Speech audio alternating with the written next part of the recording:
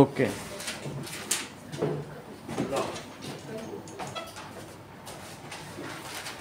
अब उसको रख लो दस लो।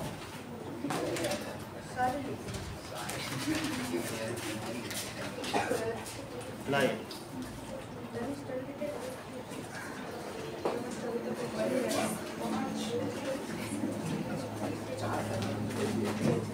Now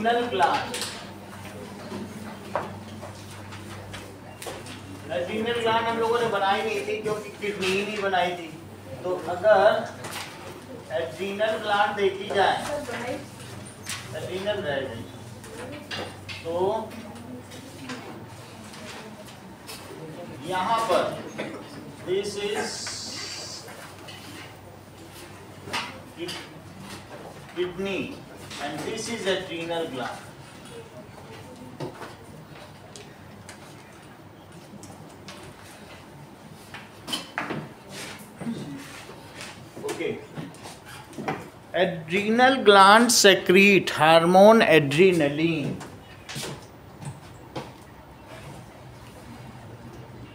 Gland secrete hormone.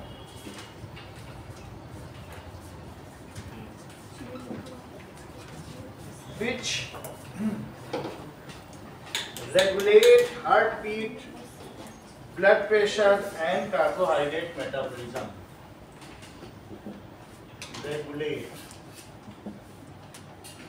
heartbeat या हार्ट बीट को तेज भी कर सकता है। ब्लड प्रेशर एंड कार्बोहाइड्रेट को तोड़ सकता है, जिससे ज़्यादा एनर्जी मिलेगी। कार्बोहाइड्रेट यानी कितना कार्बोहाइड्रेट तोड़ा जाए, इसको ये रेगुलेट करेगा। Metabolism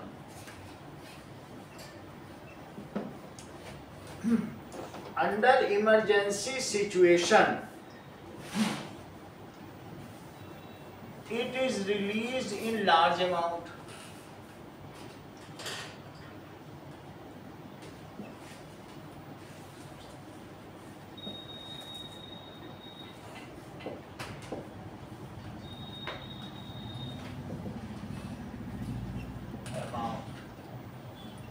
which enables us for fight or flight. या तो हम लड़ सकते हैं उस सिचुएशन से। कोई अगर कोई फेरोसियस डॉग आ गया है, बहुत खूनखार कुत्ता देन वी कैन फाइट और we can flight also in both the cases amount of energy requirement is higher तो वो इसको हार्ट बीट के ज़रिए या फिर कार्बोहाइड्रेट मेटाबॉलिज्म के ज़रिए बहुत एनर्जी रिलीज़ करा सकता है। ठीक है? तो लार्ज अमाउंट में which enables us to fight और फ़्लाइट अंडर सच सिचुएशन इसलिए इसे इमरजेंसी ग्लैंड भी कहा जाता है। So it is called emergency gland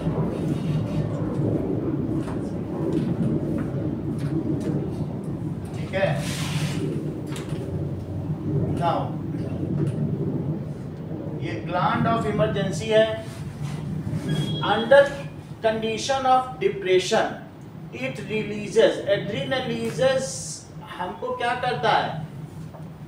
Makes us come out from that situation इस वजह से इमरजेंसी में ये डिप्रेशन है तो इसे एंटी डिप्रेसेंट या ये भी कहा जा सकता है ट्रैंकुलाइजर अंडर स्ट्रेस्ड कंडीशन अगर हम स्ट्रेस में हैं कंडीशन और डिप्रेशन तो ये क्या करेगा?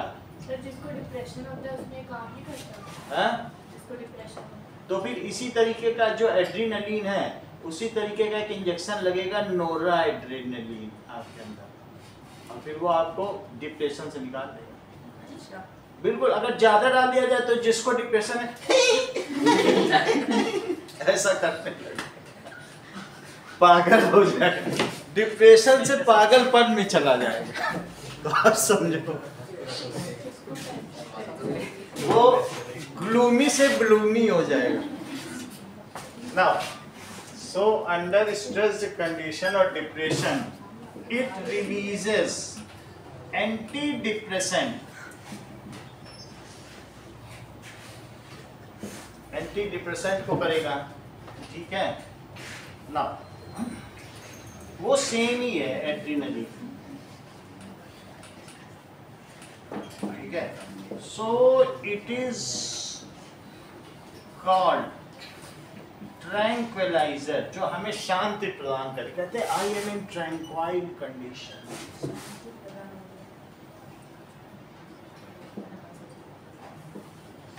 शांति दूत है.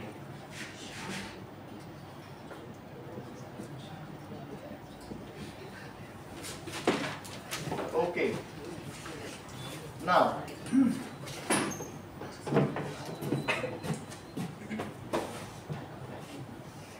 टेस्टिस के बारे में हमने कवर कर दिया है जो टेस्टेस्ट्रोन है हमारे अंदर सेकेंडरी सेक्सुअल फीचर्स देते हैं स्पर्म का रिलीज़ कराते हैं। अब हम ओवरीज के बारे में बता रहे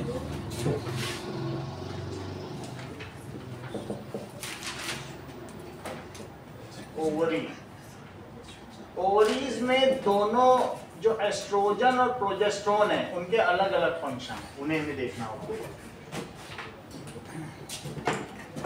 Now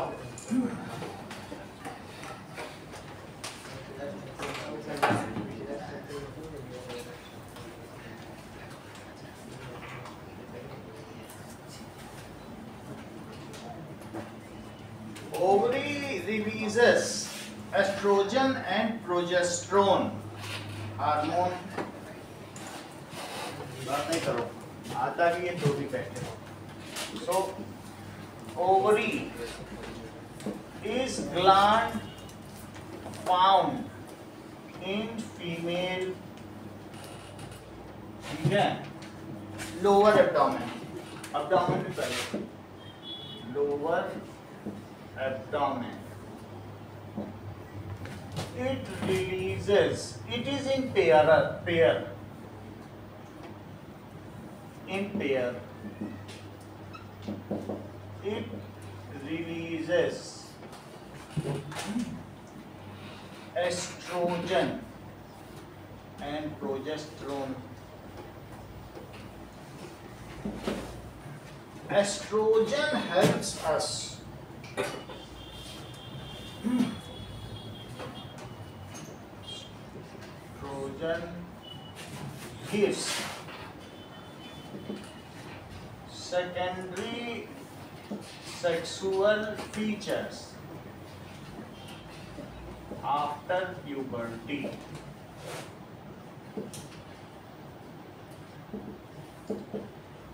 During juvenile age. यानी किशोरावस्था। किशोरावस्था का क्या मतलब है? Teen age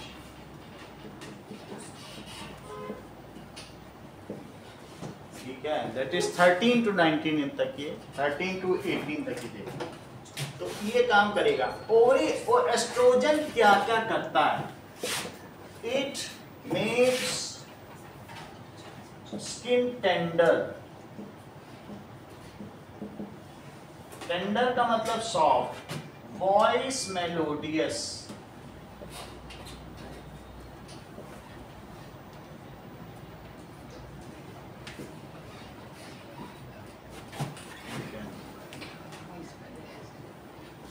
development of memory glands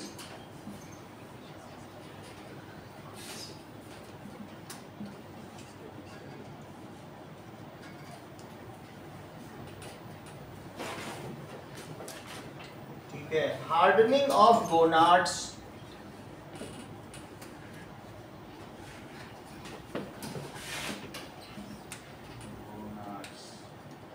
ठीक है। स्टिफनेस ऑफ़ थाई कभी किसी के मौत पे गए हो? हाँ। अगर औरत होगी तो उसकी थाई सबसे देर में जलती है। और मर्द होगा तो उसका सीना। क्योंकि इसी थाइस पर वो नौ महीने चार किलो के बच्चे को कैरी करती है। तो जो फीमेल होगा, उसका सबसे मज़बूत हिस्सा क्या है? उसकी थाइस मेल के पैर पतले होंगे हमेशा, देख रहे तो इसलिए ये क्या करेगा बताइए? ब्रॉडनिंग ऑफ़ थाइस ये कौन करता है? ठीक है? ब्रॉडनिंग भी और स्टिफनेस दोनों काम करेगा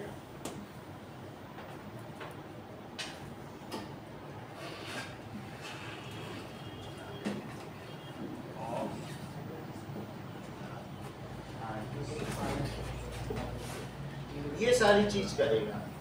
ठीक है? जबकि प्रोजेस्ट्रॉन क्या करेगा? एंड एक और काम करेगा। ऑव्यूलेशन ऑव्यूलेशन का मतलब है हर मंथ एक एग निकलेगा, चाहे इधर की ओवरी से, चाहे उधर के, एक ही निकलेगा। लेकिन ये जो प्रोजेस्ट्रॉन है, ये क्या करेगा? अगले एग को नहीं निकलने देगा। ये सप्रेसेंट है। अगर तुमने अलग से प्रोजेस्ट्रोन ले लिया, कुछ लोग अलग से भी पिल्स लेते हैं ना तो ये जो निकल रहा है, ये उसको भी मार डालेगा। ये चीज़ ही। नहीं निकलने देगा। समझ में आएगा प्रोजेस्ट्रोन जो गोली लेंगे, वो एग की संभावना समाप्त कर देगा। लेकिन अलग से अगर माला डी या कोई गोली ली जाए तो ये हमारे बॉडी के हार्मोनल बैलेंस को इतना डेलिकेट कर देती है। जो फीमेल का बॉडी है, जो रिप्रोडक्टिव पार्टी इतना डेलिकेट है अगर थोड़ा सा भी तुमने ऐसे गोलियाँ ली कंट्रासेप्टिव पिल्स वो हमने देखा है लोगों का चेहरा तरह तरह की बीमारियाँ लोगों को हो जाती हैं। तो ये पिल्स सही नहीं क्योंकि इट इज़ डेलिकेट बैलेंस फिर तुम कितना भी इसके लिए जो भी गायनेकोलॉजिस्ट के पास जाना, कुछ कोई नहीं कर पाता। तो इसलिए ये नेचुरल है हार्मोन के बैलेंस को बिगाड़ना नहीं चाहिए। तो एवुलेशन को कौन सप्रेस करेगा बताओ? That is contraceptive pills progesterone समझ में आई? उसमें भरा हुआ कंट्रासेप्टिव पिल्स में ही प्रोजेस्ट्रोन प्रोजेस्ट्रोन क्या करेगा? एस्ट्रोजन मेकिंग ऑफ़ एंडोमेट्रियम है। एंडोमेट्रियम क्या होता है, रिया? बताओ अर्शिता पता कैसे नहीं है? एट्थ में तो पढ़ा एट्थ के बच्चे तो जानते हैं।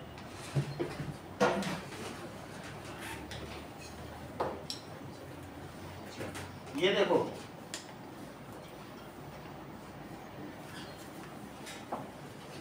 ऐसा। ये जो अंदर की वॉल है ना ये एंडोमीट्रियम है। तो इस एंडोमी ये एंडोमीट्रियम कौन बनाता है? एस्ट्रोजन बनाएगा। Sixteen day of menstrual cycle में यहाँ एक रिलीज़ होगा यहाँ पर ओवरी में। तो अगर वो ए, एग एक ही दिन ज़िंदा रहेगा अगर उसके बाद धीरे धीरे इसमें क्रैक पड़ने लग जाएँगे, और फिर 28 दिन तक 16 के बाद अगर 17 डे फर्टिलाइजेशन नहीं हुआ 16 से 17 एक ही दिन फर्टिलाइजेशन अगर हो गया स्पर्म पहुँच गया तो जाइगोट बन जाएगा। और नहीं, उसके बाद एग आके यहाँ डिजनरेट होके गिरेगा, इसके गिरते ही ये घोषणा हो जाएगी कि अब इस लाइनिंग की ज़रूरत नहीं है। तो अब कौन एक्शन में आ जाएगा बताओ? प्रोजेस्ट्रॉन ये वो धीरे धीरे इसमें क्रैक डेवलप करेगा। सही है? और क्रैक होने के बाद वन से ट्वेंटी एट डेज़ का साइकिल है। One two three four five तो हमने क्या कितने में बताया? सिक्सटीन पैक निकला। और सिक्सटीन के बाद अगर सेवनटीन में सेवनटीन तक अगर फर्टाइल नहीं हुआ तो बताओ ट्वेंटी एट डेज़ में फिर यहाँ क्रैक डेवलप हो जाएगा। क्या डेवलप हो जाएगा? अगर 16 है 14, 15, 16 14th को स्पर्म की लाइफ तीन दिन है और एग की लाइफ कितने दिन है? एक दिन। अगर 14 तारीख को फीमेल बॉडी में स्पर्म पहुँच गया है तो वो 16 तक ज़िंदा रहेगा और ऐसे में वो एग से मीट कर जाएगा। तो अगर 14 से 17 तक स्पर्म क्वाइटस हुआ है तो उसके अंदर चला जाएगा, मीटिंग हुई है तो चला जाएगा। तो स्पर्म की लाइफ तीन दिन और एग की लाइफ एक दिन। अगर मान लीजिए ना हुआ if fertilization is not occurred then ये जो बताया एंडोमीट्रियम बताया दैट इज़ एंडोमीट्रियम में क्रैक आ जाएगा। और इसके लिए कौन रिस्पॉन्सिबल होगा? Progesterone progesterone is responsible for suppression of अगर प्रोजेस्ट्रोन ज़्यादा किसी के बॉडी में तो उसको एवोल्यूशन ही नहीं होगा। एग ही नहीं निकलेगा। तो इनका बैलेंस है। एक एक निकालने के लिए और एक ये करने के लिए। अगर मेमोरी ग्लांड्स बड़े हैं। एस्ट्रोजन ज़िम्मेदारी। और अगर छोटे हैं प्रोजेस्ट्रॉन एक तरीके का डेनम है। दैट इज़ डेमोनस राक्षसी माना जा सकता है, नहीं? एक अच्छा कर रहा है और एक उसको कंट्रोल भी तो कर रहा है। समझ आई बात की नहीं? तो इस तरीके से हमने क्या बताया? प्रोजेस्ट्रॉन क्या कर रहा है? ये क्रैकिंग के लिए जिम्मेदार। क्योंकि हर हर महीने नई लाइनिंग बनती है ब्लड एंड म्यूकस और अगर नहीं हुआ तो 28 दिन के बाद ये मेंस्ट्रुअल फ्लो के फाइव डेज़ हैं। पहले फाइव साइकिल के पहले पाँच दिन कौन से बताइए? मेंस्ट्रुअल फ्लो के लिए फिर से नई लाइनिंग बनेगी। तो सिक्स सेवन से फिर ये लाइनिंग बनेगी धीरे धीरे यहाँ तक बनेगी। वो तो हम अगले चैप्टर में पढ़ लेंगे लेकिन आपको दो चीज़ पता चल गई। एविलेशन के लिए कौन जिम्मेदार है? एस्ट्रोजन अब इसके बाद बताइए कि कंट्रोलिंग ऑफ़ इसके लिए ठीक है? That is cracking of endometrium lining suppressing to evolution ovulation इसके लिए प्रोजेक्ट ठीक है? चलो कोई बात को। तो क्या बताया आपको? प्रोजेस्टेरोन इज़ रिस्पॉन्सिबल फॉर तो ये बताओ रिया कि एंडोमेट्रियम क्या होता है? बता तो। That is soft and spongy walls on inner lining of uterus is known as endometrium. अब जैसे एक होता है, ये एंडोमेट्रियम है, फिर ये रिया सोचे होंगे, अंदर वाला तो मायोमेट्रियम है, नहीं? अलग अलग नाम है। फिर इसमें भी तो तीन डिफरेंट वो होंगी, इसके। तो वो अलग अलग थ्री लाइंस हैं। जैसा आप सोचें। लेकिन फिर भी हम इन जनरली जो सबसे अंदर से दिख रहे हैं, उसे एंडोमेट्रियम ही कह रहे हैं ओके तो इसको कौन क्रैक करेगा? Progesterone is responsible for cracking of endometrium if sentence पूरा करो। स्पर्म थोड़े एग होता है रिस्पॉन्सिबल तुम कुदरत का कानून बदल दोगे। For progesterone is responsible for ये breaking of endometrium if egg is not fertilized, अब हम लोग का ये हो गया है। Now hormones and feedback mechanism तीन नंबर का आता है। जरा इसे भी समझें। वास्तव में कौन देखता होगा कि हमारी बॉडी में कितना हार्मोन रिलीज़ हो रहा है? कहीं ये ज़्यादा तो नहीं हो जाएगा। कुछ ना कुछ तो ऐसा होगा। ठीक है? हम डिप्रेस्ड हैं अब पता चला उससे ट्रैंकुलाइजर रिलीज़ ही कर दिया। तो ऐसा ना हो कि हम बैलेंस खो के संतुलन ना खो बैठे। हम हंसने ही लग जाए। ठीक है? वो हमने बताया था हर्षिता का केस तुमको। हाँ। पानी दे के हंसने लगे तो कौन है फीडबैक मैकेनिज्म के पीछे?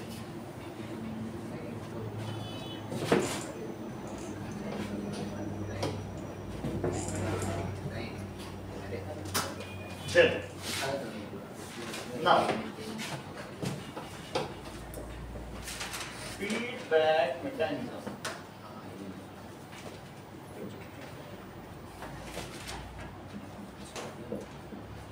feedback mechanism का मतलब है, ये पता होना चाहिए। अगर पापा आपको पैसे दे रहे हैं तो ये पता होना चाहिए, जो पिछला पैसा दिया था, उसका तुमने क्या किया? अगर वो लूप नहीं कंप्लीट है तो इसका मतलब फीडबैक मैकेनिज्म फेल हो जाएगा। तो पूरा सर्कल कंप्लीट हो। उसको कहते हैं फीडबैक पीछे से पता चले, जो डाला था, उसका क्या हुआ? तब तो और रिलीज़ करें। So it is the excess और deficiency of hormone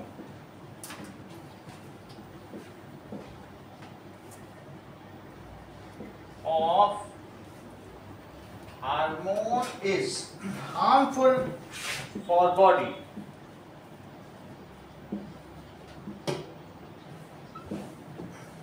Okay. Now deficiency of insulin causes diabetes and excess causes, comma. अगर मान लो बहुत इंसुलिन हो गया ब्लड से शुगर को ही हटा देगा, आदमी कोमा में चला जाएगा। तो ये तो दोनों ही खतरनाक हो गए। ठीक है? तो इसलिए it is necessary that precise quantity ये नहीं है आपकी इंसुलिन का इंजेक्शन लिए जाने कोमा में चले जाए। जो प्रिसाइज क्वांटिटी है, ठीक है? वो खुद ही लेना पड़ता है कि नहीं? तो इसलिए so it is release precise quantity of hormone is to be release by gland ठीक है?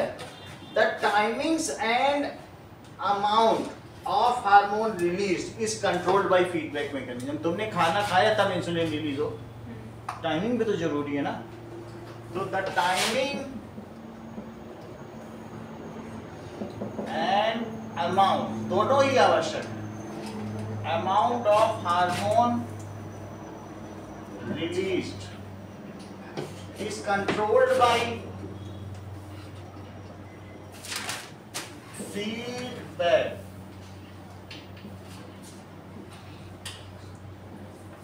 जैसे हम लोगों से कभी सामने से पूछते हैं हाँ तुम्हारा क्या रिपोर्ट कार्ड है? पापा बुलाते होंगे कि नहीं? पापा मैं इस बार तो कुछ नहीं कर सकी लेकिन अगली बार। ठीक है अगली बार करना ऐसे बोलते हैं। चलिए ये फीडबैक बुला के सामने पूछें। और तुम नहीं बता पा रहे कुछ उसमें कुछ फीडबैक तो दोगे ही। क्यों नहीं नंबर आया सर? वो पापा कलम रुक गई थी ये हुआ तो वो ऐसे कुछ बता देते हैं। अच्छा ठीक है। Now so it is feedback mechanism is in built in our body ये हमारी बॉडी में बना हुआ है। ये जो भी वो डाल रहा है हार्मोन उसका क्या इफ़ेक्ट है? ये नर्वस सिस्टम से ही पहुँच जाता है ब्रेन में। ये ब्रेन कंट्रोल करता है। यानी नर्वस सिस्टम इसके पीछे है।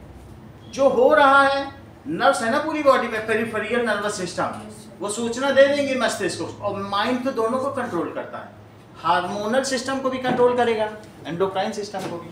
और साथ में नर्वस सिस्टम को भी करेगा। तो इसलिए ये मैकेनिज्म कहाँ है?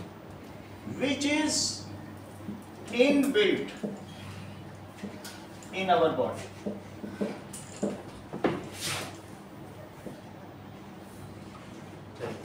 अब देखिए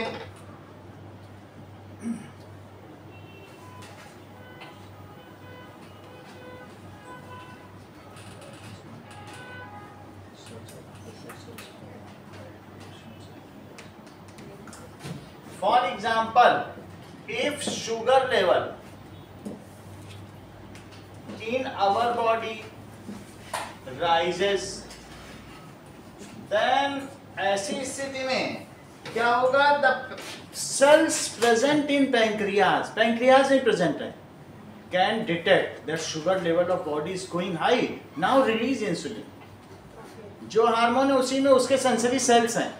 पता लगा लेंगे और फिर रिलीज़ कर देंगे then cells present in pancreas. Detect it and start releasing. अब स्टार्ट करेंगे तो फिर उन्हें स्विच ऑफ़ भी तो होना है ना। स्विच ऑन हो गए। अब स्विच ऑफ़ कैसे होंगे? ये नहीं कि एक बार शुरू हो गए तो फिर वो रिलीज़ ही करते जा रहे हैं इंसुलिन वो तो गलत है ना। कोमा में चला जाएगा आदमी। And start releasing insulin as soon as जो हमारी ब्लड का शुगर लेवल अब कंट्रोल हो जाएगा इंसुलिन से। There are some other cells यही सेल नहीं होंगी। स्विच ऑन का अलग है और स्विच ऑफ़ का अलग है। दोनों तरीके के सेल्स ठीक है? When as soon as blood sugar level is controlled अब कंट्रोल हो गया then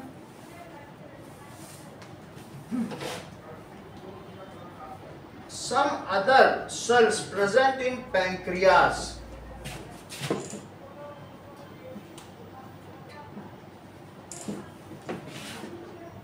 present in pancreas detect it and sec- जो सेक्रीशन है reduces automatically वो घट जाएगा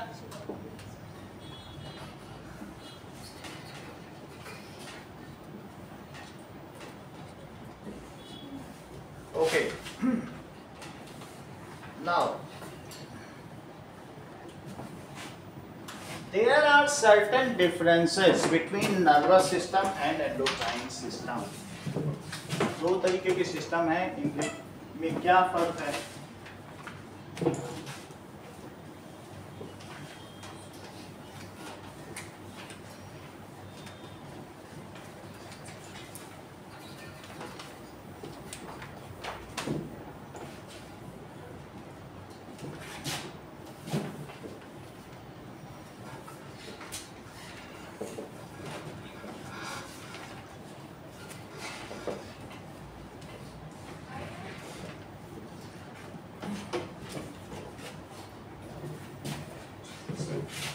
made of neurons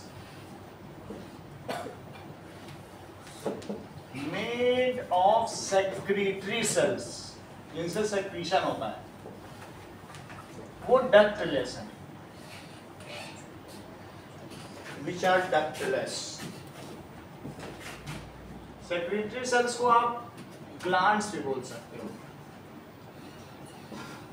which are ductless plus छेद नहीं है उनमें।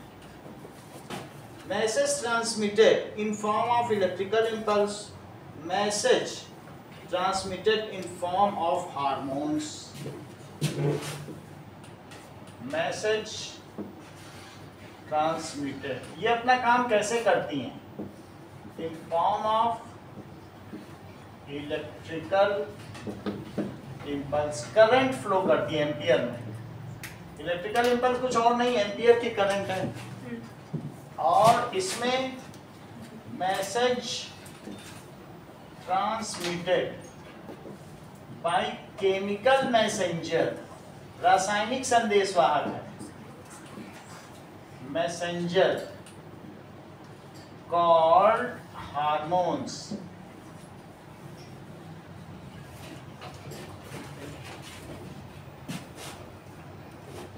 Message transmitted moves along nerves.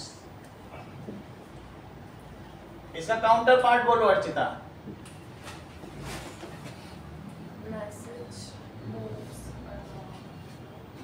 बोलो दिव्या।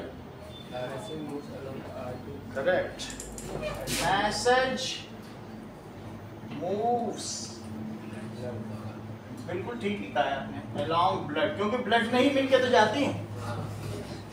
ना message travels quickly, message travels slowly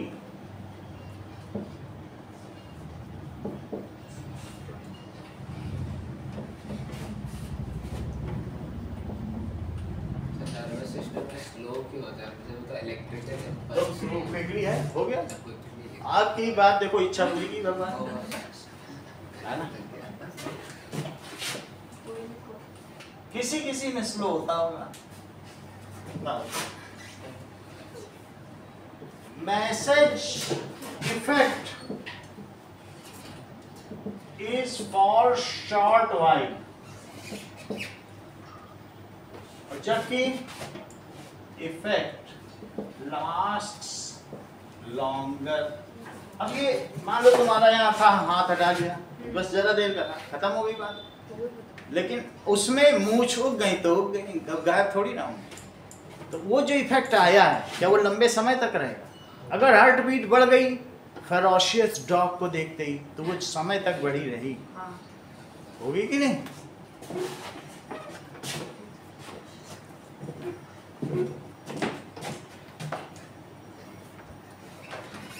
Coordination in plants control and coordination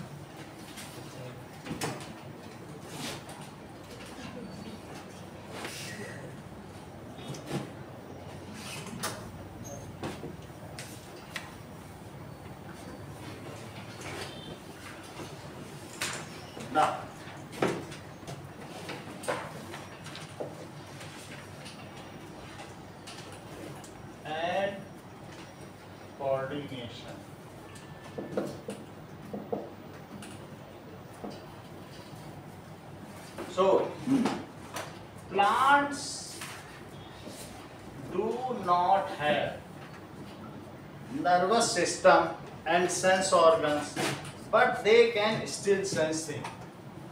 तो इनमें कोई नर्वस सिस्टम नहीं है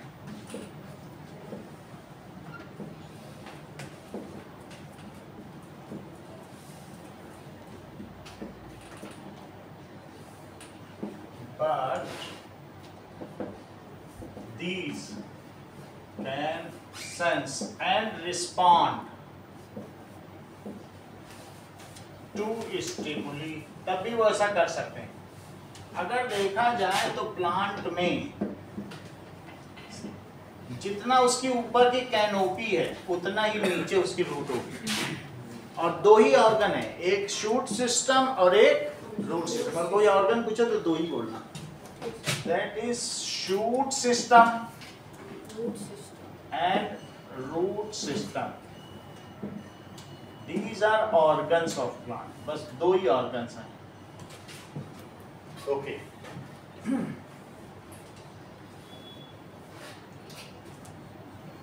Plants coordinate. Their behavior. वो अपना बिहेवियर वो भी कोऑर्डिनेट करते हैं। अगेंस्ट भी कर सकते हैं या फिर in favour of stimuli present stimulus plural है। सिंगुलर और स्टिमुली प्लूरल ये बात हमने पहले बताई ना? यस तो that is present in environment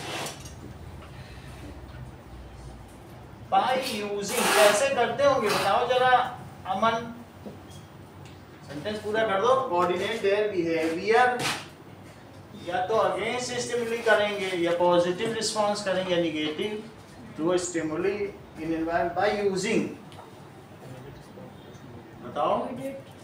correct by using hormones वो ये रिस्पांस जो है auxin gibberellin cytokinin abscisic acid इन सब के द्वारा करते होंगे। ठीक है? तो हार्मोन्स के द्वारा ये सब रिस्पांस होता है। नाउ प्लांट रिस्पॉन्ड स्लोली तो अगर हार्मोन का रिस्पॉन्स तो वहाँ देख चुके हैं, वो तो स्लो होगा। So they respond slow.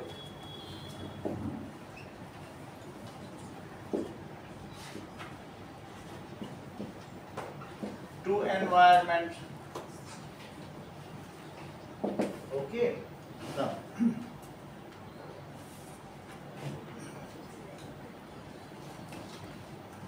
the chemical substance which are responsible for response in plants are known as plant hormone. बस इतना ही लिखा The chemical substance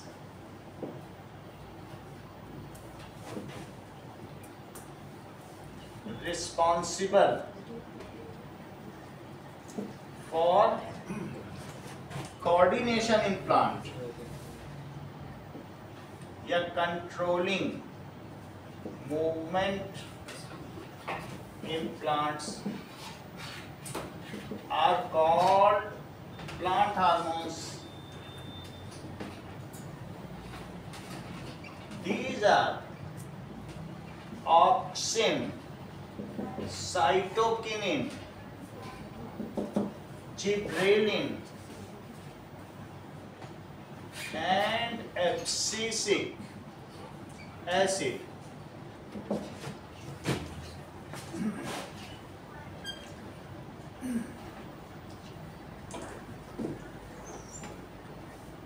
So plant hormones are also known as phytohormones. Hormones are also called phytohormones. तब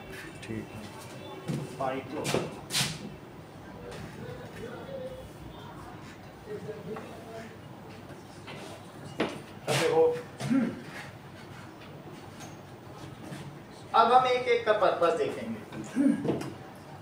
auxin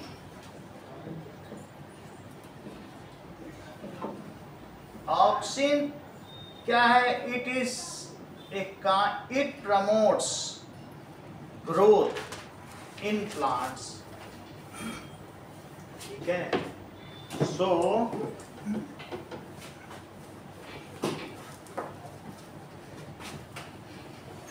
oxygen क्या करेगा? It promotes growth इन जैसे कि कभी भी आपने देखा है कि जो सूरजमुखी या सनफ्लावर है तो वो किधर हो जाता है? मान लीजिए ये है। सन की तरफ़। तो अब इसमें ऑक्सीजन सब तरफ़ है। लेकिन सन के आ जाने पे क्या होगा बताओ?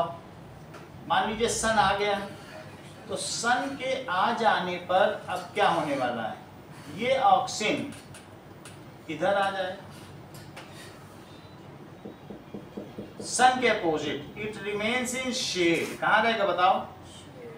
शेड पर सनलाइट इस पे पड़ रही है तो शेड पे चला जाएगा। और ये ग्रोथ है तो क्या ये पार्ट ज़्यादा ग्रो कर जाएगा? तो ऐसे में ये पार्ट अगर ग्रो कर गया तो ये तो ऐसे हो गया। उधर वाला नहीं ग्रो कर पाया ये ग्रो कर गया। तो बोलो किस तरीके से ये जो सूरजमुखी का पौधा इधर चला गया क्या? सर तो इट रिमेन्स इन शेड ये कहाँ रहेगा बताओ? Shade so the part which is in shade मान लो शेड है तो ये ज़्यादा ग्रो कर गया ना? ये कम ग्रो कर इस तरीके से। समझ आ गई बात?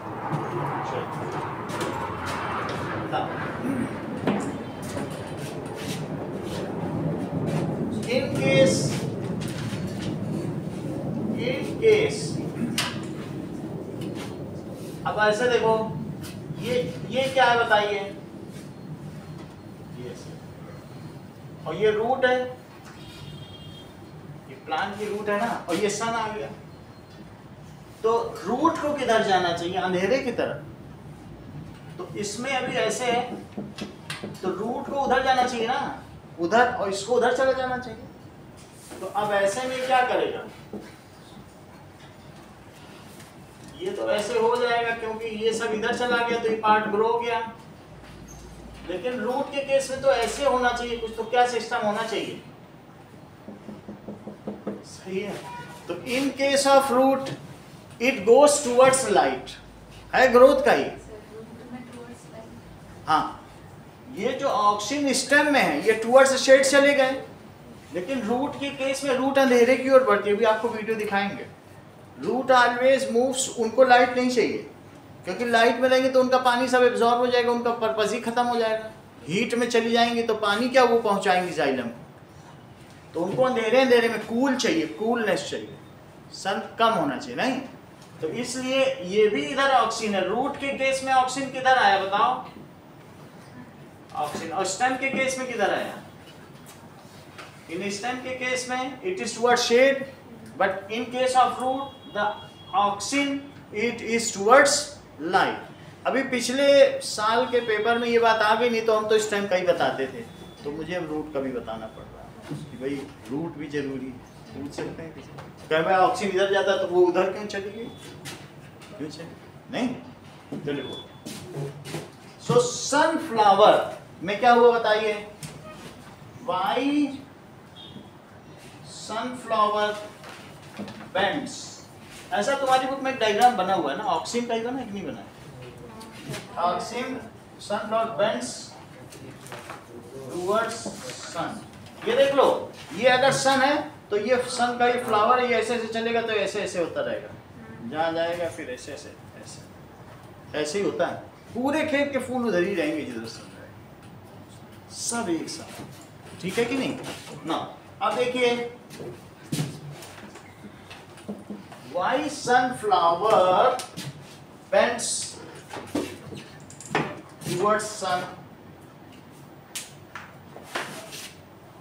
एक एक दो मिनट का वीडियो देखो तो पता चल जाए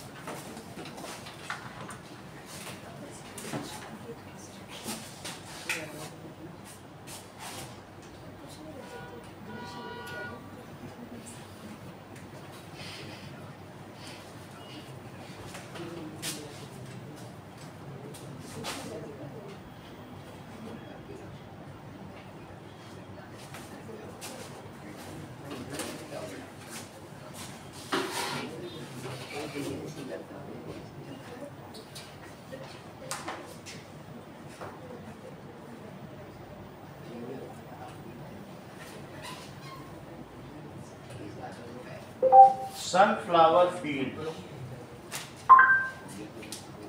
अभी देखो तुम्हें एक ही तरफ़ मुँह दिख रहा है कि, कि कोई उधर नहीं उधर सब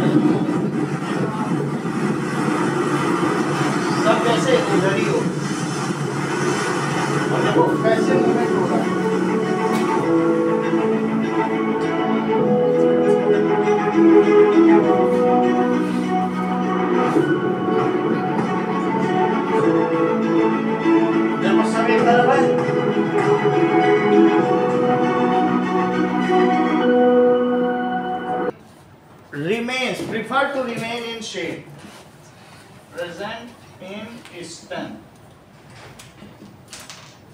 prefer to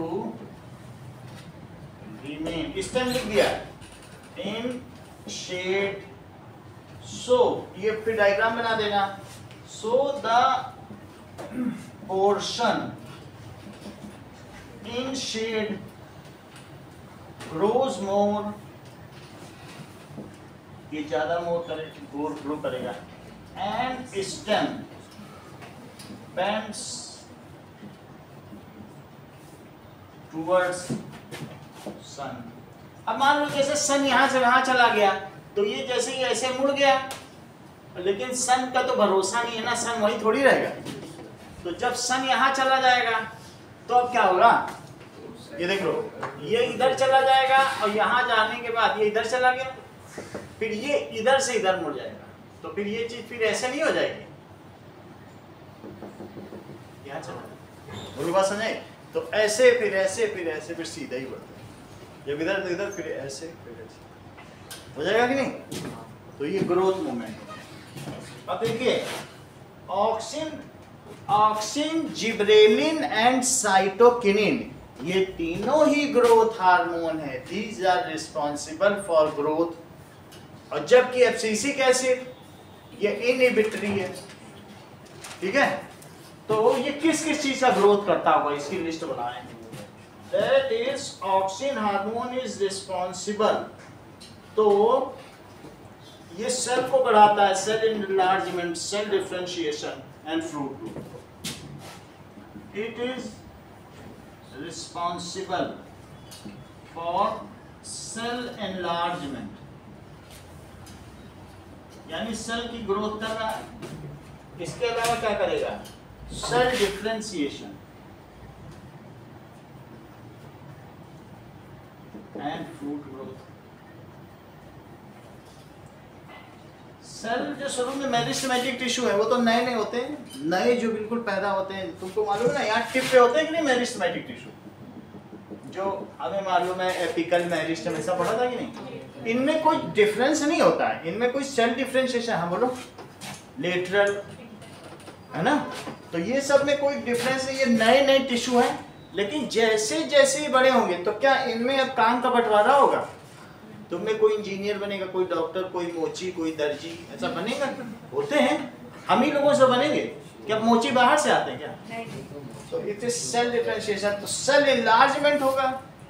अभी आप लोग सेकेंडरी मेरिस्टम जो छोटा बच्चा होता है, वो प्राइमरी है, और जो बिल्कुल अब काम बिल्कुल दिया जाना तय है एक दो साल बाद काम की खोज में निकल जाओगे, टिफ़िन लेके। तो अब होता है मम्मी खाना बना दे देगी साहब को पूछेंगे, मिला काम? होता है कि नहीं सबके सबके जीवन में वही बात आती है। अब ये देखो सेल एनलार्जमेंट अलग है। मैरिज टाइम बड़ा हो गया तो उसको बड़ा किसने किया? ऑक्सीन ने। और फिर उसके बाद उसको कोई जाइलम बना देगा, कोई फ्लोएम बना देगा, कोई पेरन काइमा कोई कॉलन काइमा कोई स्लैरन काइमा बना देगा तो कुछ भी बना देगा। तो सबको काम का बंटवारा कौन दे रहा है? ऑक्सीजन सही है? अब अगला देखो। दैट इज़ कुछ लोग सिंथेटिक ऑक्सीजन होते हैं। कद्दू में डाला फूल गया। एक दिन में फूल जाएगा। रात को इंजेक्शन लगाए इंजेक्शन वाली लौकी सब दिल्ली में चल रही है सब में। सो ऑक्सीजन ये लिखा है synthetic oxygen are injected in plants in cities नहीं तो इतना सारा कहाँ से कद्दू आएगा?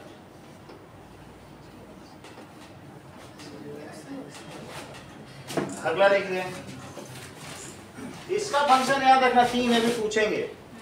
Cell enlargement cell differentiation fruit growth ये चारों हार्मोन के बारे में पढ़ लो. जिब्रेलिन और देखो. तो जिब्रेलिन में दो बी लिख दीजिएगा. Gibberellin promote cell enlargement and cell differentiation ये भी वही काम करेगा. Promote cell enlargement and cell differentiation. In absence of oxygen, अगर ऑक्सीजन ना हो और ये ऑक्सीजन वैसे कर रहा है दिन कई दिन तक धूप ही ना निकले तो क्या पौधा ही ना बढ़े? In absence of oxygen oxygen कहीं है लेकिन फिर भी तो ऐसे पार्ट्स होते हैं जो बढ़ते हैं ना। तो उन पार्ट्स की कौन ग्रोथ कराएगा बताइए? जिब्रेलिन कराएगा। ओके लिखो इस चीज़ को। Oxygen speeds of growth in stem but slows down ये ये चीज़ ठीक करो। इट स्लोज डाउन रहेगा इधर ही शेड में। लेकिन यहाँ भी रहेगा ये ये लाइन लिख लो। यहाँ पर ही रहेगा। But it slows down growth in roots question उसमें क्या लिखा है? यहाँ है स्टेम में तो ग्रोथ बढ़ा रहा है और इसमें भी वही शेड नहीं है लेकिन ये ग्रोथ को रोक रहा है। Rose down growth slows down growth in roots लिख लिख लीजिए यहाँ पर। ऑक्सीन ये नोट में लिख लेना। Auxin speeds up growth in stem but slows down growth in roots तो दोनों में क्या पता चला दिव्या? ये शेड में ही रह रहा है, ठीक है? आगे देखो। जिब्रेली ने क्या क्या काम किया? कुछ और भी काम करता है। It helps in breaking dormancy of seeds and buds. जो हिटलर के जमाने के बीज थे, वो घड़े में लोग रख रख के पर्ची डाल के चले गए कि कोई हो तो हमारे बीज ले लेना, लेकिन मेरी पर्ची पढ़ लेना कि हिटलर ने ज्यूस पर यहूदियों पे क्या अत्याचार किए, उन्होंने ये किया। बीज तुम सारे ले लेना। वो 400-500 साल के बीज अभी भी जर्मिनेट कर रहा है। 500 साल से वो सोया हुआ बीज अभी तक टूटा नहीं, या उसमें किसी भी तरीके के सीडलिंग्स नहीं आए सर बीच में अंदर कैसे डाला यानी अगर वो जो सीड है ना seed when seed gets correct atmosphere and warmth correct moisture and warmth then only germinates जैसे जैसे तुमने स्प्राउट्स खाए होंगे ना, मूंग की दाल में स्प्राउट्स निकल आते हैं, अंकुरण। तो सीड में मूंग की दाल को अंकुरित होते हुए देखा है ना, चने को तो वो कब होता है? करेक्ट वार्मथ भी चाहिए। ठंडे में फ्रिज में नहीं होता है। वार्मथ भी होना चाहिए मॉइस्चर भी होना चाहिए। तो जो सीड का जर्मिनेट होना है, वही उसकी ब्रेकिंग आउट आर्मेंसी है और उसी से बहुत बड़ा पेड़ निकलना है। तो उसको कौन तोड़ता है? कौन उसको डॉर्मेंसी से बाहर निकालता है? सोए हुए बीज को। That is gibberellin breaks the dormancy और सोया हुआ फिर कौन रखेगा? ऐसे ही तो वो सब सब कुछ अच्छे काम ये तीन करेंगे, और बुरे काम कौन करेगा? वो चलिए। Now it promotes fruit growth, और ये क्या काम कलियों को भी कौन जगाएगा? माली आवत देख कर कलियन करी पुकार, फूले फूले चुन लिए, काली हमारी बात सारे फूल चुन लिए गए हैं, और कल हमारी बारी है। ऐसे ही लोगों को मरता हुआ देख के हम सोचते हैं कि देखो, बूढ़े बूढ़े उठा लिए, भगवान ने कल हमारी बारी है। ऐसा सोचते हैं कि नहीं? कि देखो, वही माली वाली हालत है हम लोग की। तो seeds of birds it growth in fruits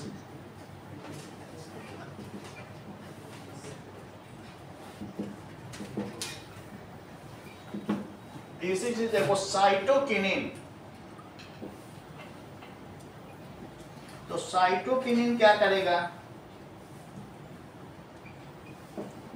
साइटोकिनिन्स promotes cell division इन सब का काम है सेल को बढ़ाना।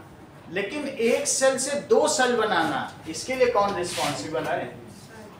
तो साइटोकिनिन एक सेल से पहले इनका जेनेटिक मटेरियल अलग होगा फिर अलग अलग हो जाएँगे। सो so, इसको कहते हैं cell division cytokinin is responsible for cell division. Okay it help in breaking the dormancy ये भी ब्रेक करता है dormancy of seeds and centres it helps in breaking का मतलब है germination of dormancy of seeds and birds birds भी dormant रहती हैं, जब तक उन्हें सही धूप और सब कुछ ना मिले। It delay the ageing in leaves it delay ageing in leaves वैसे हम जानते हैं कि जब पतझड़ का मौसम होता है ऑटम तो सारे फरवरी के महीने में सब देखा है आपने, पत्तियाँ सब गिर जाती हैं ऑटम तो उससे क्या होता है, उनके अंदर जो भी lignin suberin material wilting of leaves हो जाती है फिर नई पत्तियाँ आती ये तो तरीका है तो it delays ageing in leaf तो साइटोकिनिन क्या करेगा? उन्हें जल्दी नहीं गिरने देगा। ये डिले करता है अब देखिए कि it also promotes the opening of stomata promotes fruit growth and promotes opening of stomata तो साइटोकिनिन स्टोमेटा को ओपन करवाता है। दिन में ओपन हो जाते हैं ना?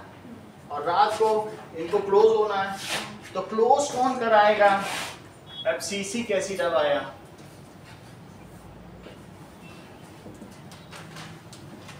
so abscisic acid promotes dormancy in seeds ये उनको खुलने नहीं देता। ये डॉर्मेंसी तोड़ रहा है।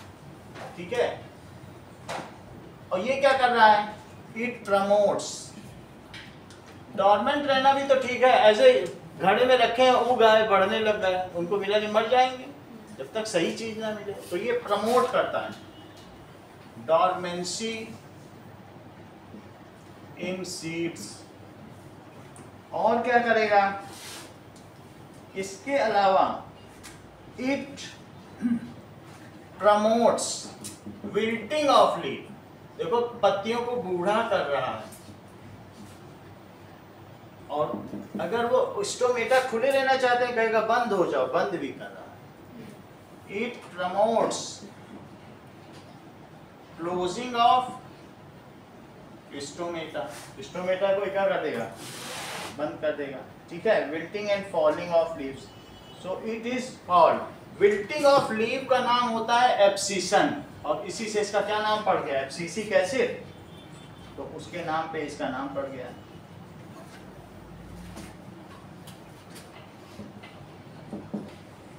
ठीक है?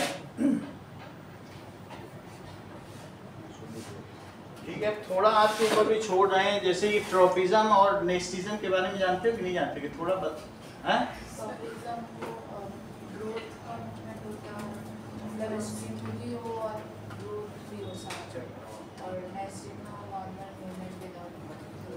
था फिर पढ़ नहीं ना अभी फिर कराएँगे। कल छुट्टी नहीं है ना? आज